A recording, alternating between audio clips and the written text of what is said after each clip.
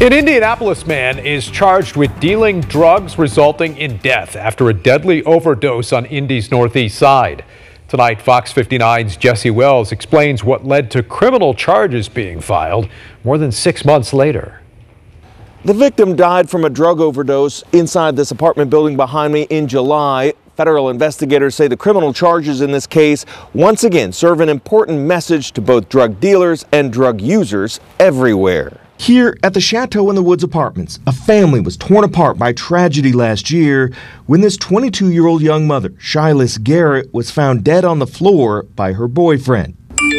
Police claim text messages show the victim requested bars and Addy before her death. That's slang for Xanax and Adderall. In this instance, they clearly thought they were getting a Xanax or an Adderall, and that's not what the toxicology report revealed. It was a, a fentanyl poisoning. 46 year old Rashawn Williams is now accused of supplying the fatal dose of fentanyl laced pills. According to this affidavit, calls and text messages show the victim and suspect arranged to meet the night before the death.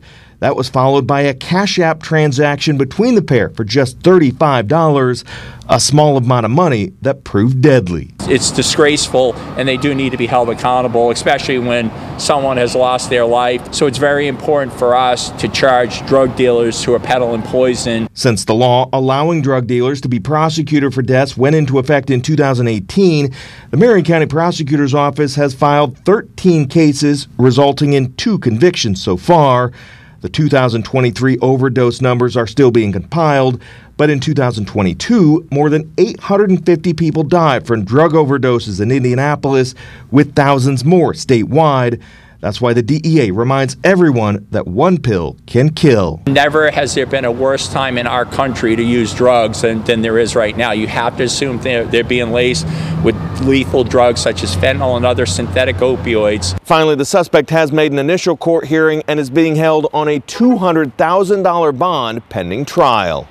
Jesse Wells, Fox 59 News. Taking a